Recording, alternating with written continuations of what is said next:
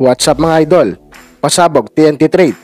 Ang tanong, sino naman kaya ang kapalit ni Prince Caperal?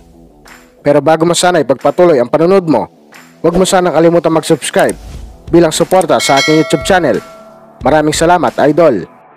Alam naman nating lahat na isa si Caperal sa hindi masyado naglalaro ngayon sa Inebra. Last PBA bubble, maraming fans nila ang sobrang disappointed sa kanila at isa si Caperal sa sinisisi ng mga fans.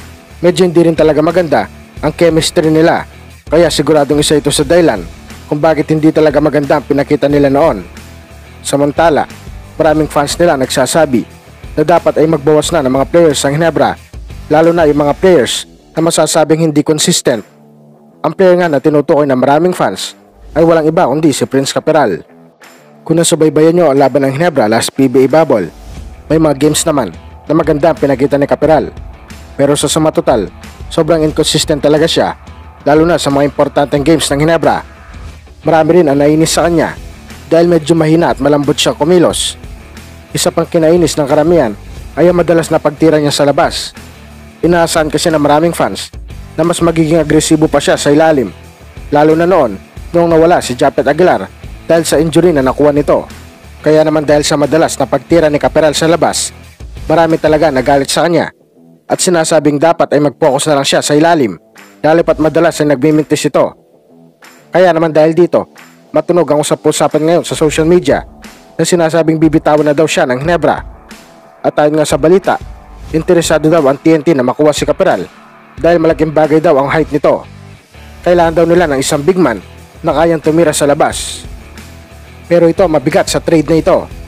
Ayon kasi sa mga balita, ang kaya lang daw i-offer ng TNT ay isang first round pick para maging kapalit ni Caperal. Ulitin ko lang na ito ay base lamang sa mga matutunog na balita ngayon. Pero kung ako ang tatanungin, sa tingin ko ay sobrang lugi ang Hinebra sa trade na ito.